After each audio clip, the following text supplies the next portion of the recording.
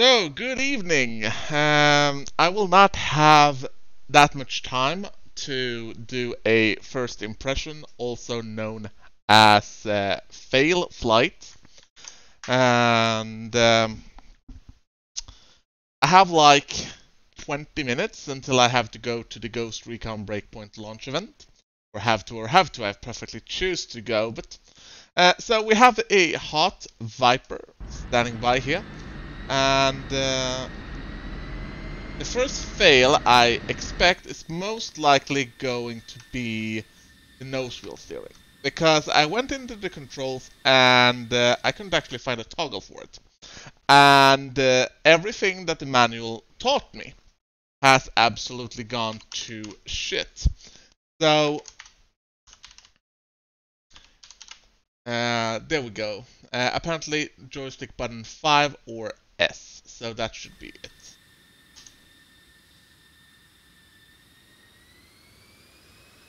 Or not. It could be something else entirely as well, but right now we are heading for absolute disaster here. And uh, absolute disaster meaning rolling off the runway here. Uh, so, I don't really know why uh, the nose wheel steering doesn't really work. Like I said, this is a fail flight. I'm going in fairly blind here. So we're going to just stay still for a moment. And uh, see if we can't fix this in some way. Uh, let's see, that's button 5. And that should be the nose wheel steering. We might actually have to hold it, we'll see. I mean, depending on the airplane in question... Ah, there we go. That was the problem. So we didn't actually crash the bird, but what happened was that my rudder settings don't seem to have saved. Also, it's not a it's a toggle. You don't need to hold the nose wheel steering button. But uh, then I know the entire thing was uh, toggle. So we basically, I'm going to uh, have a look on that. The rudder and yeah, that didn't. Uh, that didn't save at all. Yeah, so we are now on the runway. On Area 51, we basically just stormed Area 51 and we made free with a Viper. Because that is what you do when you are uh, a bit short on time and uh, need to get a Viper or as uh, it's properly called, the Fighting Falcon. And I say that only to annoy specific people.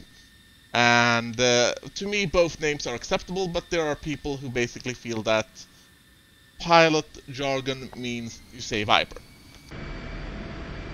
I have to say the visibility from the cockpit is absolutely astounding. I mean, the bubble cockpit really comes to its right here. And if you're wondering why I have the gambler's skin on, uh, there ain't any, any else.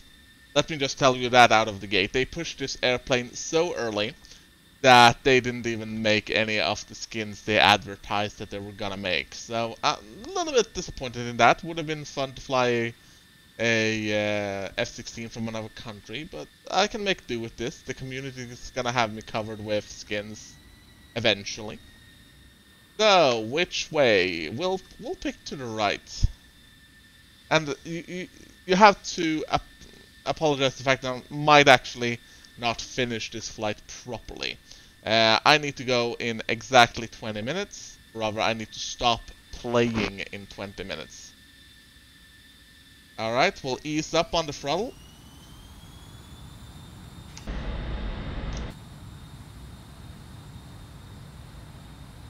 I'm being overly cautious here.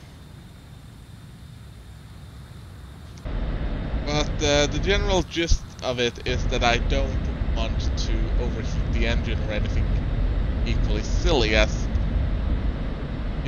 And by that I mean the stuff you can actually do in the MiG-29, for example. I don't know if you have sufficient experience with the MiG-29, but basically if you go from 0 to 100 on the MiG-29, there's a high chance of engine failure. Either that or my tail is just hitting the just hitting the um, back of the runway while I'm trying it. So, we are officially in the air over Nevada, the Nevada test range, and we have uh, Dreamland or Area 51 right behind us. So far, I have. Oh, that that is a nice roll rate. I gotta say the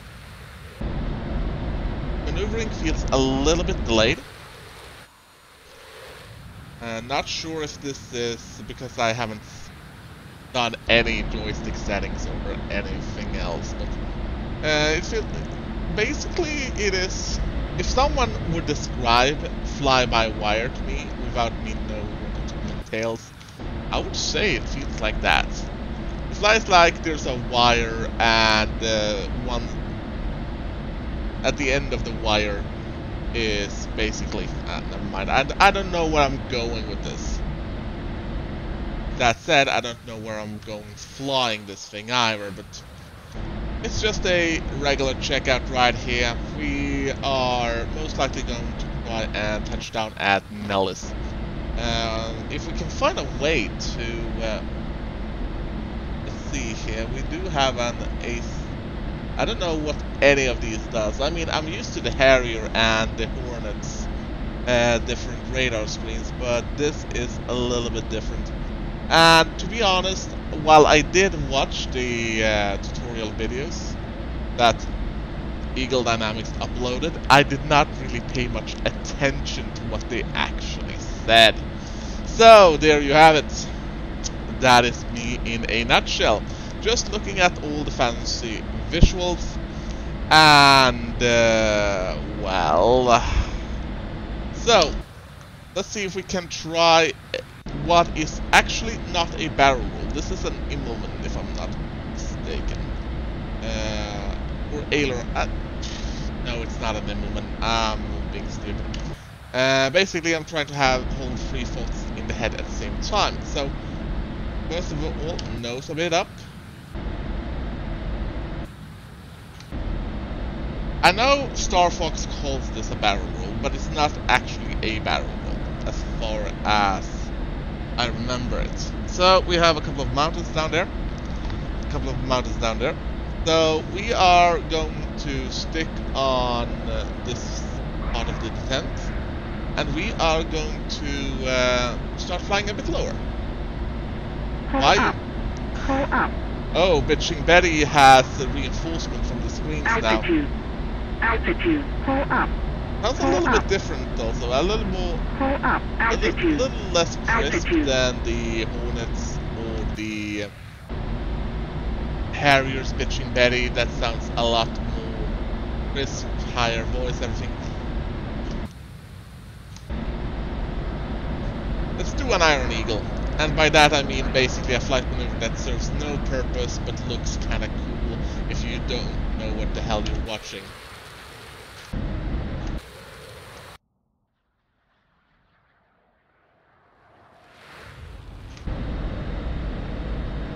Well, so far I have to say that the Viper is astoundingly easy to fly. I mean, it's not it's not like the Tomcat that you have to fight and wrestle with. It's a far more easygoing aircraft by far. So we have the muffler arm on.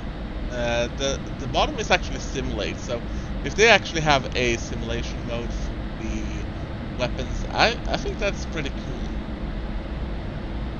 That actually looks more like a radar than anything else to me.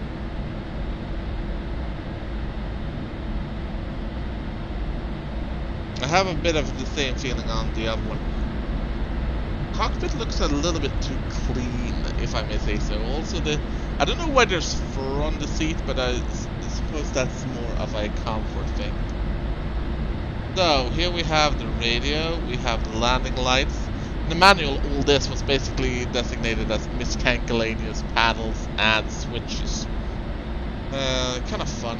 Uh, also, we can have a closer look on this thing. Uh, that I admit I have nothing. If you are going by Iron Eagle in terms of what you will expect to find in this cockpit, uh, you'll be sorely disappointed, I'm afraid.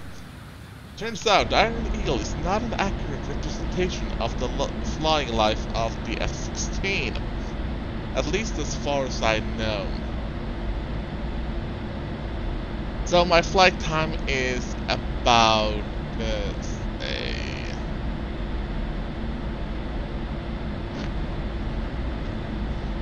yeah, about 13 minutes, so I say we do like this. If I can't get the weapons online, uh, then what I will do is simply take a turn around Las Vegas and touch down at Nellis. And then we'll have... Here we... Yeah, this definitely looks like a radar screen. There we go. Weapon, weapon placeholder.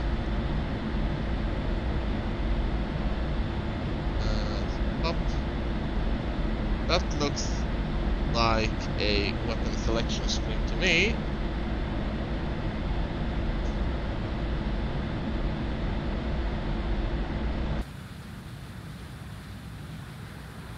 And that looks like alterations on the HUD in preparation for said weapons.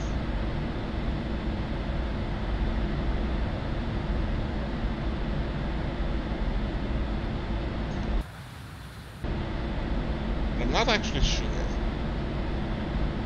Oh, I accidentally managed to trim the aircraft there, which shan't do that. Altitude. Altitude. Just because I'm over a city doesn't mean you have to bitch about the altitude. Yeah, there, there's something off about the maneuvering that is feels a little bit delayed. And can't really describe the feeling. It's like everything I do is just a third of a second too late. While most other aircraft are very intuitive, this one is Altitude. Altitude. this one is, like I said, easy to fly, but it's also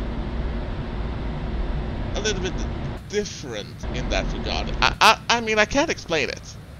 It's very difficult for me to try and uh, explain the phenomena of flying this thing, but it doesn't really notice as much in the hard maneuvers, such as the, this, this, or this. I mean, the harder the maneuver, the more, more responsive the airplane feels, but when it comes to the uh, more regular, slower maneuvers. It's almost like the there's an inhibitor of some sort. Okay, so that is still a weapon placeholder.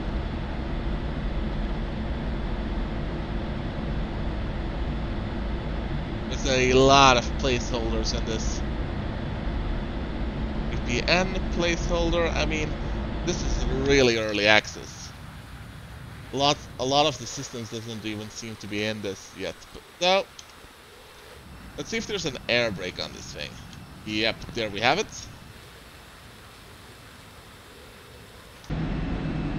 So what are the odds that you think I'm gonna be able... yeah, most likely. Like I said, I skipped most of the uh, manual here. So th thank you for uh, reminding me, but I don't really know how much flight time I got left. Not in terms of fuel, but I have like 9 minutes left. So we are gonna close the air brakes, slow down sufficiently. I'm gonna see if I can find the buttons we were talking about. But this is a fail flight, so if I don't actually make it, I'll just be right as rain with that too. Oh, there they are. They are right, they are literally in the heads-up display. Right in front of me. I mean, how the hell did I miss them?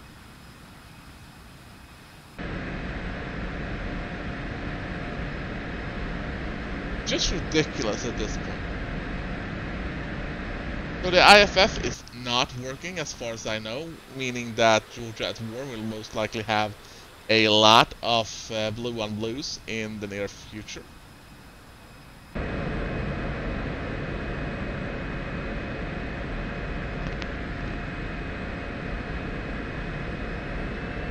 We are going to uh, fly it a little bit faster here, so we don't actually crash on takeoff. That actually happened with the uh, Tomcat when I was flying that one. I got no. I fully admit I did not see those buttons. Uh, like I said, when I'm watching Eagle Dynamic videos, it's basically just, oh look, pretty airplanes and nothing else. It takes a lot of repetition for me to actually get something done when it comes to uh, learning how to fly. So I'm going to go around because if there's something I've learned from my mistakes is that I'm usually far too eager to land. And uh, that usually lends itself to bad landings. Now if I fly the Hornet, the Hornet can usually compensate for my piss poor landings by having extraordinary landing gear. But uh, no, I'm not going to uh, count on the landing gear of the Viper being at all sufficient for my lack of landing skills. Now, you can ask just about anyone. My landing skills are not sufficient in the least.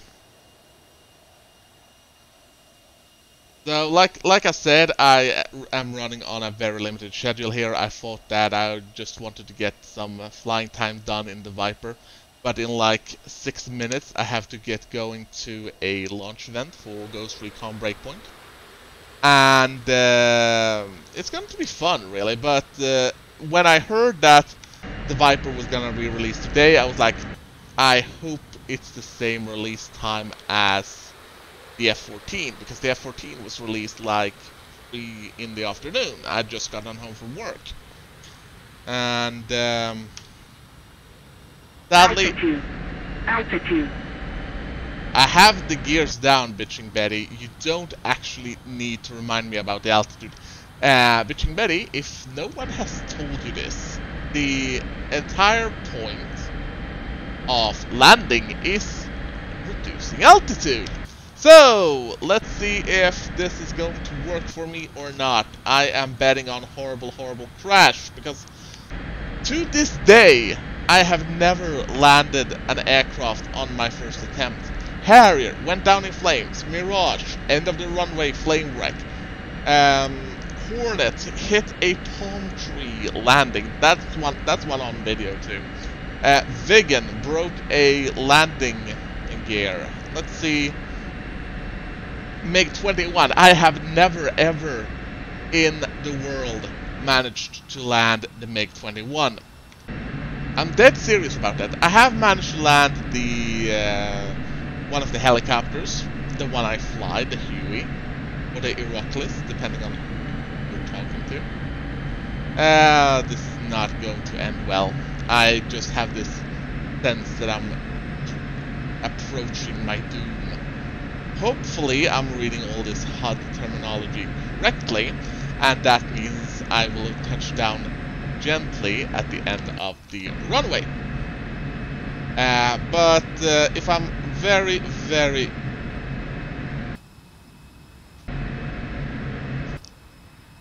Altitude. Altitude. Look at that. Altitude. Altitude. Altitude. Altitude. Altitude. Altitude. Altitude. Yeah, I know what I've forgotten, Altitude. and uh, Altitude.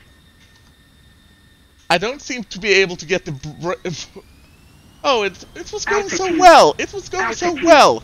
Let's kill those brakes. Thank you. I might need. Uh, yeah, I know I I didn't pop the brake chute. I know I didn't do that. So that was basically the big fail of that landing. But everything else actually went rather okay. At least, I mean, we didn't crash. We managed to touch the airstrip. And I have three minutes. Three minutes to get this thing on the ground. Otherwise, I'm just gonna crash it into the Trump Tower. In fact, I think crashing it into the Trump Tower is going to be quicker and easier for everyone involved, but uh, I'm just going to dive into the controls here. There, okay, so there ain't a brake chute. I was apparently wrong about that. Wouldn't it be... I mean, I was kind of convinced I've seen the F-16 with a brake chute, but obviously I was wrong about that. Okay, so if uh, there ain't no brake chute, then the landing was too too fast. Nothing but too fast. So now we are gonna do a far more improvised landing. In fact, do we have... Yeah, we, we do have other airstrips around. We have McCarran, but McCarran's long runway is not on our, our most viable approach. So we're gonna try this again. If it doesn't work, it doesn't work, and I'll have to go. Altitude. I mean, that Altitude. really annoys me, and I don't mean that. It, it, it, basically, I. It's a common mistake I do. I assumed something, and that assumption led to a maneuver not being executed the way that it should be. I think we are actually gonna come in at a far too fast landing again here. This is gonna be a far too fast landing. Uh, but I'm gonna see if I can't force this by basically just pushing the brakes.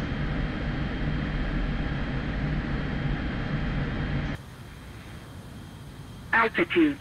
Altitude. Yeah, this is not going to work. Let's just do this. Altitude. Altitude.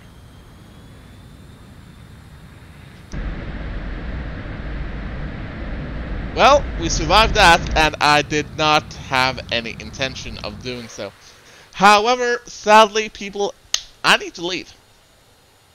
Uh, I need to leave for the launch event, so uh, I'm going to see if uh, how much we can pull Altitude. on Altitude. The maneuvers close to the ground, and if I don't crash, I'm simply going to Altitude. quit the game while I am ahead. We have one minute. One minute until I need to just grab my 511 backpack and rush out the fucking door. Pull up.